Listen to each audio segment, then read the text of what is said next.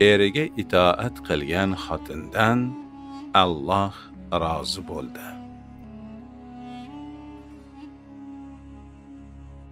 Asri saodatda payg'ambarimiz sollallohu alayhi va sallamning muborak zamonlarida bir odam urushga chaqirildi.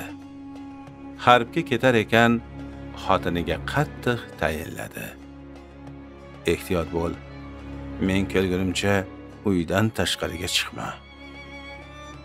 Oradan bir qancha vaqt o'tib, ayolning otasi kasal bo'lib qoldi. Ayol payg'ambarimiz sollallohu alayhi va sallamga xabar berdi. Otam qattiq kasal, nima qilay? Hasratda yonmoqdaman, dedi. Payg'ambarimiz sollallohu alayhi va sallam eringga itoat qil deb javob berdilar. Biroz muddat o'tib ayolning otasi vafot etdi.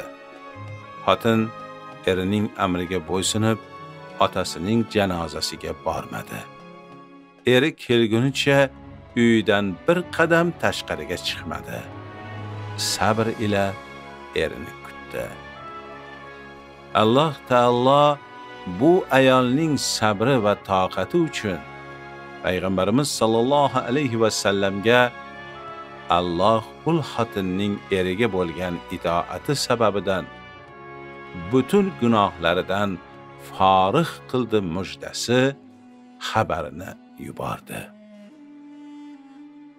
Ey oxirat yo'lchisi, qardoshim, ko'rib turibsizki, Allohni mamnun qilmoq uchun uning amri bo'yicha yurmoq kerakdir.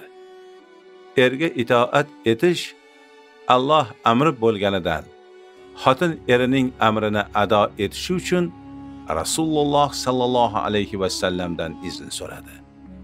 Otangni kasalini ko'rishga va janozasiga bormasdan ering amriga quloq sol. Uyingdan chiqmaslik sen uchun xayrlidir deb javob berdilar. Din amriga ko'ra erga itoat etgani uchun ayol Allohdan inoyat etilgan mujdani oldi. Demak, jannatga kirmoq oson emas. Erlarning kichkinagina talabiga qarshi chiquvchi xotinlar buni yaxshilab eshitib olishlari kerak. Alloh amrini bilmaydiganlar payg'ambarimiz sollallohu alayhi va sallam nasihatlariga quloq solmaganlar erning haqqi nimaligini bilmaydilar. Bular uchun Yaşasın cehennem deyişdən başqa söz var mı barmı? Bilməyəm.